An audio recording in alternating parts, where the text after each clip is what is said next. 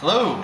So this is my place. Uh, it's about 2:15 in the afternoon here, Taiwan time, and I just got back from doing a little shopping. Uh, haven't had time to really set the place up yet, but unpacked a little.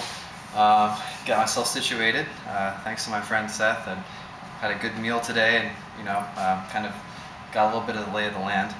Um, and I thought it'd be a good time to do a little bit of shopping. So uh, I got out some of the basics. I got some uh, mighty cleaning detergent, uh, some kind of, I can't even tell what this is really, uh, but I think it's orange fragranted. Uh, and uh, yeah, this place wasn't exactly spick and span when I got here, so that'll help uh, make it a little more livable. Uh, picked up some men hair wash. Yeah. And you some paper towels.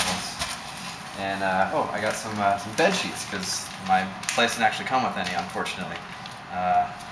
So yeah, I was actually really proud of myself. I found this little, you know, uh, little grocery store thing at the recommendation of Lisa, who uh, one of Seth's friends who helped helped us out here. Um, and uh, you know, I, was left on my own to do it because Seth had to go to class. So I felt really proud of myself. I talked and uh, talked talked to the uh, to the salespeople in Chinese and asked them, you know, if they spoke English and if they could help me uh, find something. And uh, and they did. Sure enough, I found some some bed sheet looking things. Uh, so I thought, great, you know, this is wonderful. This is exactly what I need. Perfect, right? And he said, oh yeah, just pick the color you want, right? So, so I did, and I got this nice kind of, uh, you know, you see here, like it's like a khaki color. Thought it, you know, probably go well with whatever, right? Can't really go wrong. Uh, well, I get home, I'm all excited set up my bed and, you know, get ready for later tonight. Just crash out, work on my jet lag, and uh, unpack it. And what's this?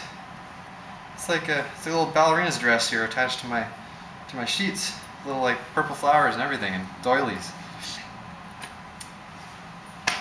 So anyway, guess I'll be making another trip out. Fortunately, it was only like 10 bucks, so, US.